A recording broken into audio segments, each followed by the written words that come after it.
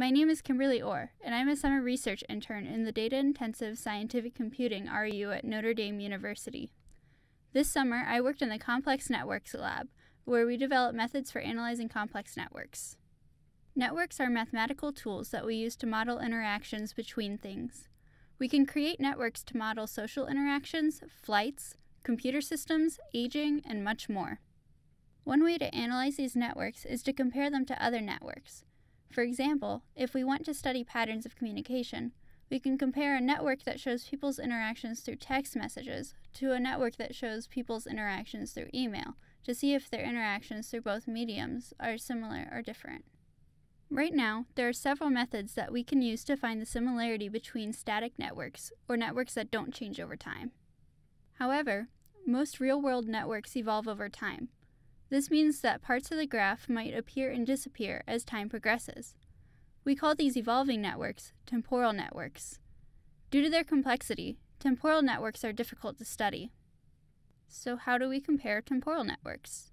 One solution is to model temporal networks as static networks by aggregating all the temporal events into one static network.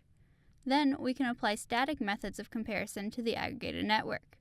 However, when doing this, it's possible that two networks that are temporally different can be modeled as the same aggregate static network.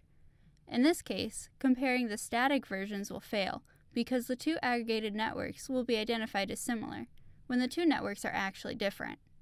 Clearly, we need a better solution. This summer, I've been working with my advisor, Dr. Tijana Milenkovic, to develop dynamic graphlet correlation distance, which is a new method for comparing temporal networks. We generalize a leading static method, graphlet correlation distance, into its dynamic counterpart. Static graphlet correlation distance uses graphlets, or small subgraphs, to examine and quantify the overall structure of the networks. We can then use this to quantify the similarity between the networks.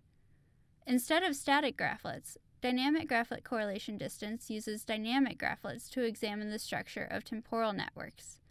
This eliminates the need to aggregate temporal networks into a single static network and reduces the chance that the method of comparison will falsely classify two networks as similar when they're temporally different. When we evaluate dynamic graphlet correlation distance on synthetic temporal networks from social and biological domains, we find that our method is much more effective for determining the similarity between temporal networks than current methods. If we find that dynamic graphlet correlation distance is effective on real world networks, it will allow temporal networks to be studied more accurately, leading to a better understanding of the world around us.